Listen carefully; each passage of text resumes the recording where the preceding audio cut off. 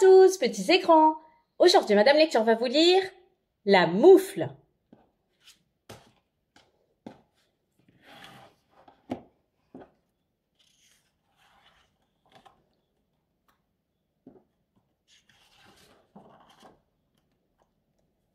C'était l'hiver, le terrible hiver russe qui habille de glace les rivières, qui accroche du givre aux branches des arbres, qui enveloppe les champs d'un manteau de neige. Et il y avait un brave paysan qui n'avait plus rien pour chauffer son isba. Son bûcher était vide, et son grand poêle risquait de s'éteindre. Sa femme commença à se plaindre du froid. Le paysan enfila ses moufles, prit sa hache et partit dans la forêt ramasser du bois.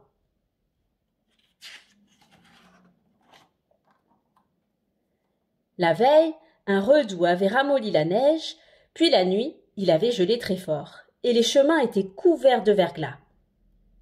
Le paysan glissa une fois, se rattrapa, glissa une autre fois, et fit de grands moulinets du bras pour se retenir. Sa moufle droite accrocha une branche, glissa de sa main et tomba par terre.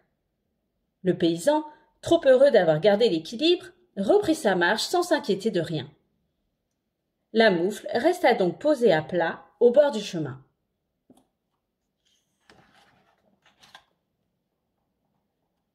Une petite souris passait par là, toute transie.